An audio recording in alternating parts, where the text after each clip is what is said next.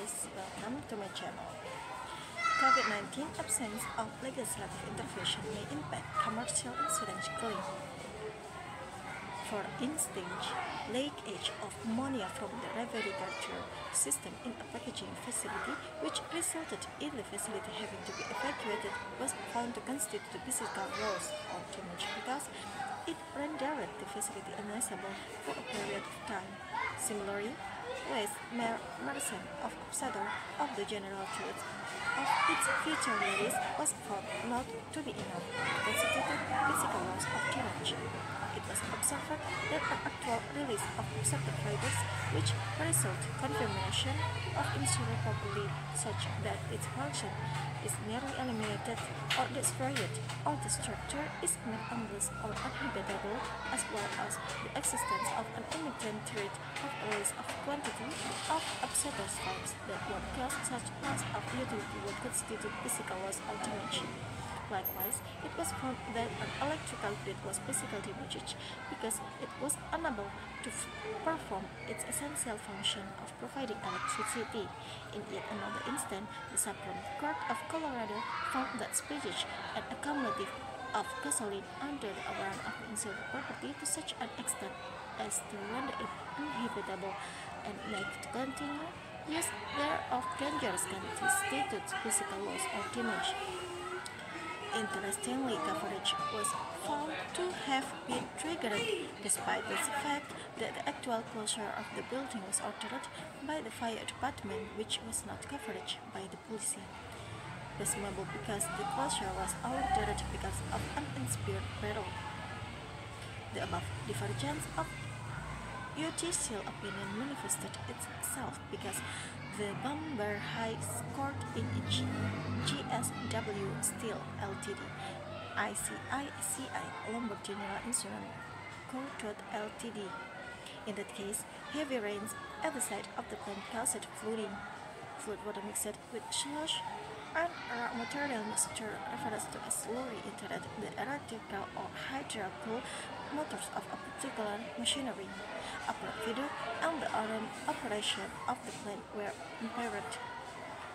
The majority award held that there was no physical damage to the apron feeder because the sand only had to be cleaned after removal of slurry, whereas the minority award held that the apron feeder was physically damaged because it could not be operated until the slurry was removed. The Bombay High Court observed that both the majority awards and minority awards were possible views on the interpretation of the word damage and it may even be that the view taken in the minority award appears to be the better of two, as well as the one with which the court may in all probability have concern. However, the court refused to interpret the majority award having related to the limited scope for intervention by court while hearing a challenge to an arbitrary award.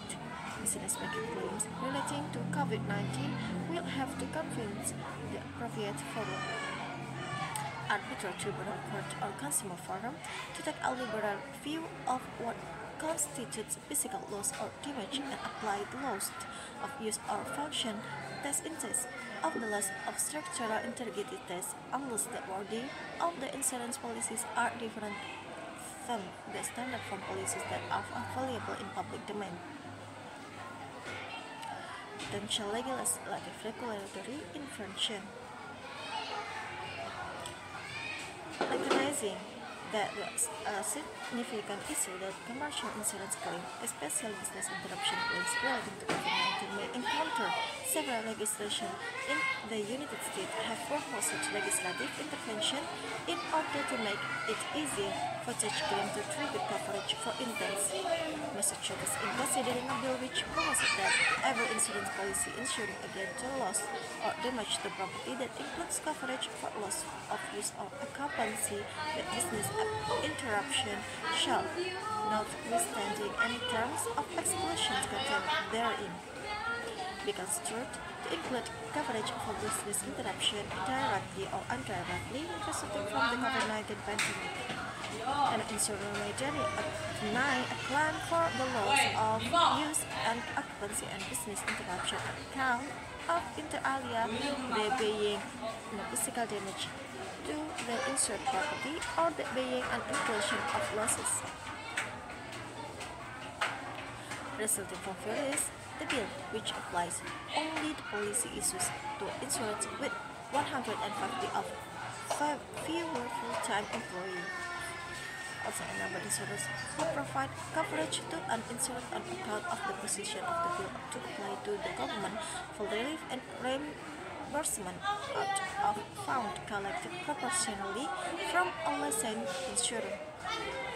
Similar bills are uh, also being considered by New Jersey, New York, Ohio, Pennsylvania, and South Carolina, as well as the House of Representatives, United States federal government.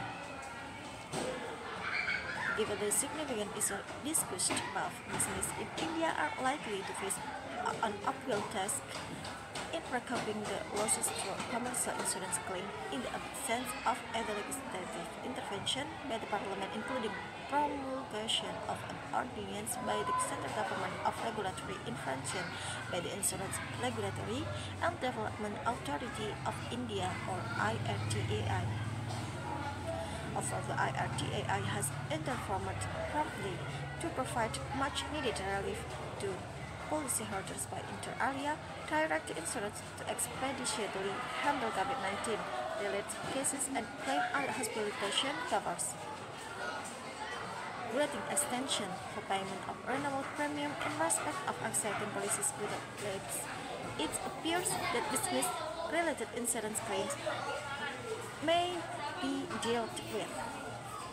If at all, much further clarity emerges on the extent of damage that business in India may suffer. While legislative intervention along the lines being considered the United States one option, the Sum Court first legal challenge for insurance in case it is applied retrospectively on the ground that it seeks to provide the theme of excited insurance policies. Legislative intervention and liberal interpretation of insurance policies could also affect the reinsurance costs of such policies that cover COVID-19 related damage or losses when extension affect the premium of such policies that will be charged to insurers for policyholder.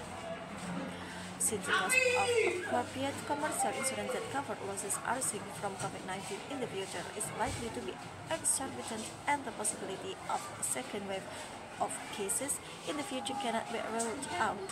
One option for legislative or regulatory implementation could be no make it mandatory for all loss profit policies and other all-risk policies issue or renewed from now on necessarily cover business interruption losses due to the COVID-19 pandemic and related, related action by public authorities and impose a cap on the premium that can be charged. Do the same.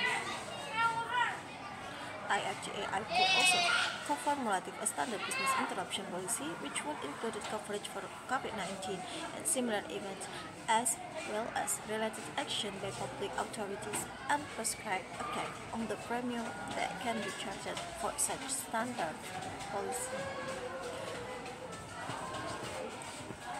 I will repeat again since the cost of appropriate commercial insurance that cover up losses arising from COVID-19 in the future is likely to be exorbitant and the possibility of a second wave of cases in the future cannot be ruled out.